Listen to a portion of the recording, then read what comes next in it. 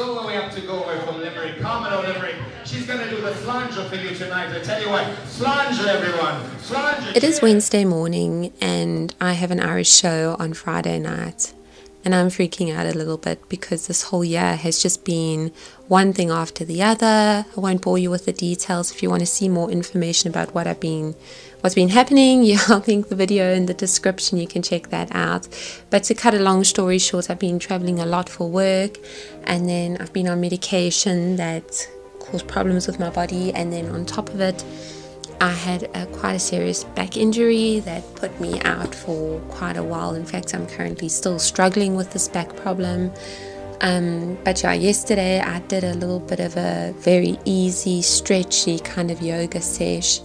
And then today, Wednesday, I've had to now just suck it up, do some ballet, do a basic barre, stretch out my back, do a bit of other stretches. I feel like I haven't danced the whole year, probably because I haven't.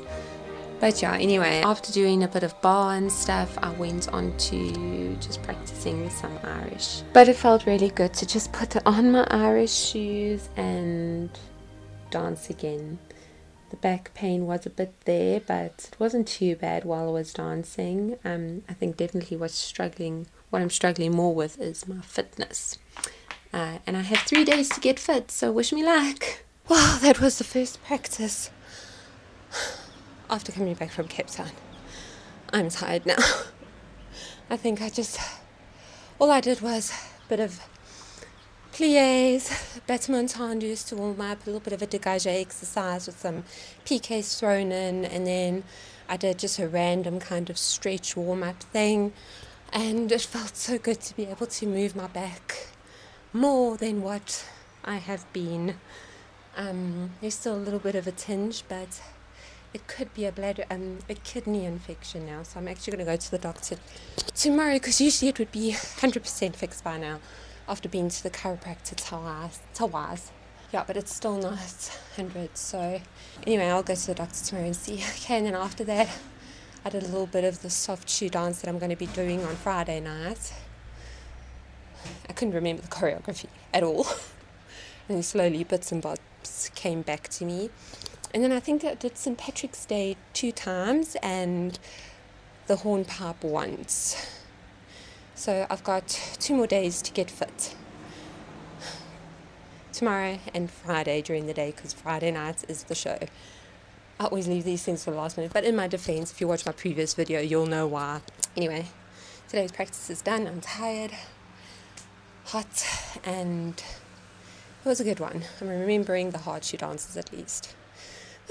and also, I actually filmed um, my hard shoe practices with the microphone on my sock, so it did come off a bit. But anyway, I'll show you a bit now of what it sounds like. I still haven't listened to it. Hopefully, it's okay. Probably missing a lot of beats, but uh, it is what it is.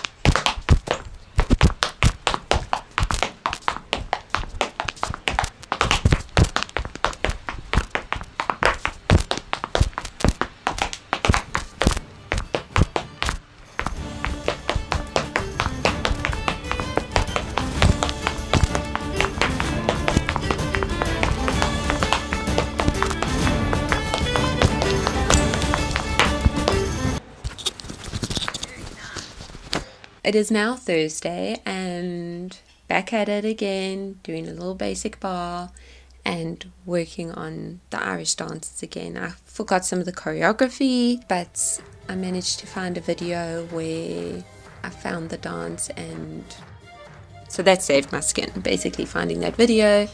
I remembered the dance now and all is good. Interesting story actually. I went to the doctor this morning because we thought maybe it was a kidney infection. Turns out it's not a kidney infection. It is a pulled muscle or something wrong with the muscle. But anyway, I've got two jabs, one in this cheek and one in this cheek. Uh, the jabs weren't actually that sore, but this one, I don't know, I think this is a cortisone or something that was like, felt really uncomfortable when it went in. But Look at this.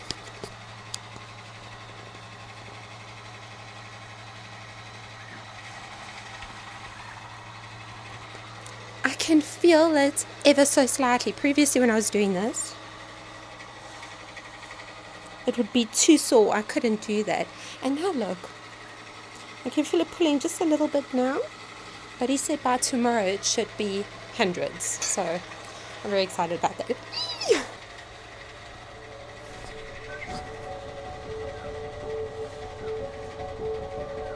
Okay, that feels a little bit uncomfortable still. My glutes are very stiff.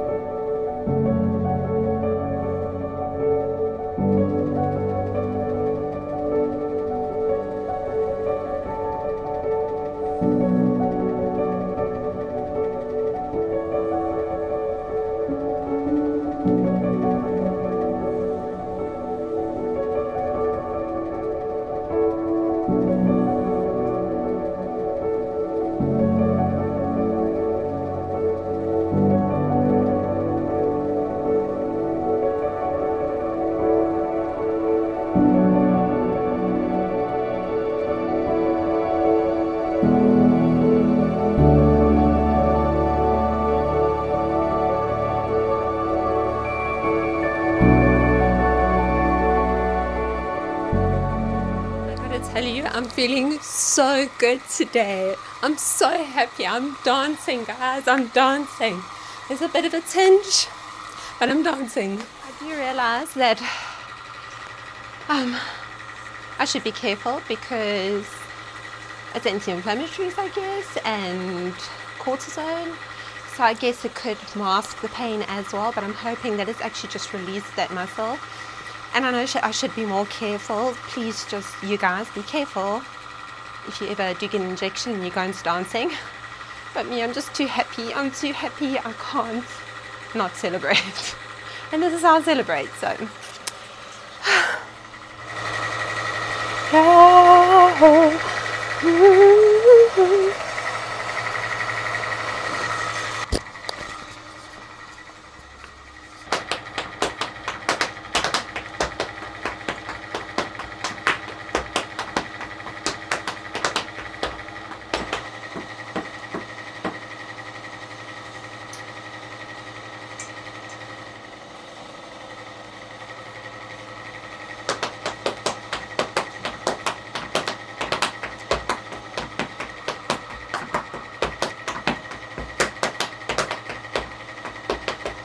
In the evening, we had a rehearsal the day before the show, and that was good. It's always good to see my fellow Irish St. Patrick's Day show givers, um, the violinist, and he's brilliant. Such an awesome violinist, a fiddler. Brilliant, brilliant, so talented.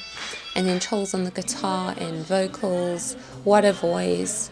He plays the guitar so well, so good. And then Kath McLennan, she plays piano, ukulele, as well as singing, and her voice is incredible. It is so powerful, so strong. Um, and then we also have Axel, who is acting and singing. What a performer! Hilarious. Has me in stitches, has crowd in stitches. He really is such a passionate actor. And then also we have Paul, the director. And what can I say about Paul except that he is such a joy and a delight to work with. He is so spirited and he is, has such a passion for what he does. I mean, you can just see how he just absorbs his character and yeah, what a great group of people to work with. I loved every minute of it. It is now Friday, the day, D Day, the day of this show this Irish St. Patrick's Day. Now, it's not really like on a stage or anything, it's just pretty much open plan, but not because it is a restaurant. But now the problem came in where there was just tables and chairs everywhere and cables on the floor and waiters and waitresses walking past everywhere and people moving out from their seats to sit comfortably to watch the performances. It was lots of fun, but you know, you've got to have a good sense of humor when it comes to performing at restaurants and that because the reality is it's not going to work out most of the time how you have choreographed it or worked on it at home. Now, you've seen my studio, it's tiny, it's small, so I thought that maybe the studio the floor would be about that size but when i got to the like um to the venue i realized oh no sure but this is vastly different uh, and again, I completely forgot that there would be waiters walking around and stuff like that. But anyway, as a dancer and as a performer, you've got to kind of like put your feelings aside and your thoughts of what you had practiced. And more often than not, you're going to have to change choreography on the spot, which can be very challenging. But I encourage you with this if you are doing solo dancing, then Nobody knows your choreography, only you do. So don't let that dissuade you or make you feel like you are ill prepared or anything like that. Just own it. Like I said, you're the only one that knows the choreography. So you're not letting anyone down. You've just got it, especially if you're in like a, um, a restaurant setting and that. The whole point is for you to get people, give people gees, that's I guess the Afrikaans word for spirit. And yeah, so you just bring the gees, you bring the enjoyment from your side, you bring the crowd in, you just interact with the crowd. If you feel like there's not much space to move, then start clapping with the crowd, start interacting with the crowd more. Yeah, they love that. I, I probably could have done more of that, but anyway, I did do a little bit, but yeah, just really start leaning into the crowd and start feeding into their enjoyment for being there. Yeah, if I could just encourage you that when you are dancing in a location that is not what you were expecting, is like I said again, like I'm, and I'm going to say it again, Nobody knows your choreography, only you do. So if you change something, no one's going to notice. Just own it, be confident about it, and know that people are there just to have a good time. Gosh, I know this video is so late because St. Patrick's Day was like how many weeks ago. But again, so much in my life has happened again. Now let's check the wooden table with those. let's check the wooden table. This is going to be great fun. This was Mark's idea. Let's have a look. Oh, it's beautiful. Oh, we got the tattoos. The marks of the tattoos forever Things look like they are leveling out and my back is feeling a whole lot better. I want to tell you guys this two week break that I took from social media, from filming, from editing, from, okay, except for filming and editing for my actual work that I do it was so good for the soul. So, also, another little bit of advice is that sometimes you just need to switch off and take a break. You know, I know people say you've got to be consistent with social media and you have to show up every day. But the reality is that we are also human and you also are allowed to switch off. I mean, I don't know why put people put all this pressure that you have to be there all the time. So just if you feel like you need to take a break, take that break. I promise you, your body will thank you, your spirit will thank you, your soul will thank you, your mindset will thank you. Uh, and now that I'm back, I feel like I can really hit the ground running.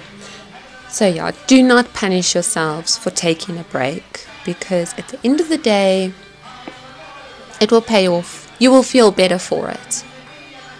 So, yeah, that's all I have for you guys today. I hope that that provided some encouragement um, and also a little bit of a sneak peek as to what went down with this show that I was dancing in.